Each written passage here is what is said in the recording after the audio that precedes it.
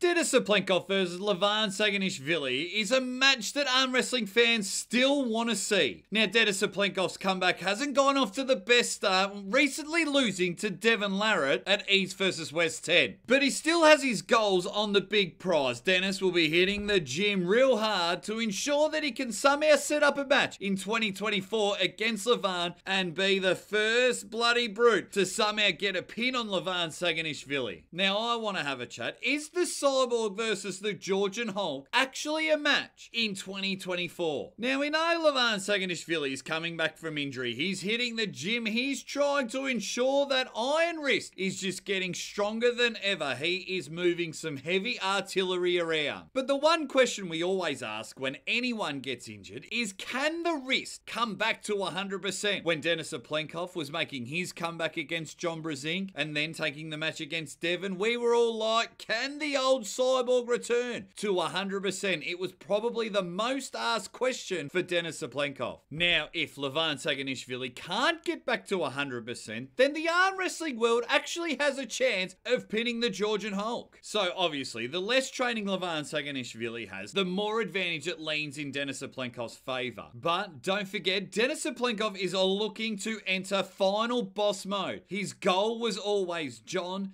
Devon Levan, regardless of wins and losses. Denis has noted that his training for his last match wasn't where he wanted it to be, Trainer too much defensive. One reason that makes this a match is that Levan is coming back from an injury and Denis has had a couple of matches under his belt. So it's almost like Denis has got a bit of a head start in the training regime. If these two ever collide, in late 2024. The main X factors on both sides of the tables that can make this a match is we don't actually know what Denis Cyplenkov's training regime will be. We don't know how he's going to change his strategy after the Devon match. He says he needs to train more attacking. But now we want to know is Denis going to bring different people into his camp? Is Denis going to be doing more table time, less table time, more in the gym? The X factor that Denis has right now is the unknown. Will Denis change his style completely that can somehow open up Levan's hand? And the X factor about Levan Saginashvili, the man has never been pinned in a super match format. It has been a very long time since Levan has even been pinned in a competition. So in short form, is Denis versus Levan a match? I think it can be. I think in late 2024, if these two Buffalo somehow go head to head, I think it can be an exciting match with the styles that they're both going to bring to the table. Now, before you start going for the jugular in the comment section, just calm down a bit. Of course, I've got Levan Saginashvili as the very heavy, heavy, heavy, heavy favourite. Will final boss form of Denis Cyplenkov and his new attacking style be any danger for Levan? Or will the number one arm wrestler on the planet continue to be the number one arm wrestler on the planet? Let me know in the comments, you dead set legends. And if you can, like, share, and subscribe. Everything